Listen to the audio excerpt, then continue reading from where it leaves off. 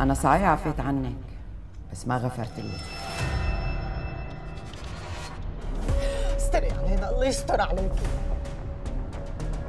يا ويلك من الله أصغر من بنتك. أم إبراهيم وعايشة بدي إياها تموت ألف موت شوف عذاب القبر بعيونها على عملته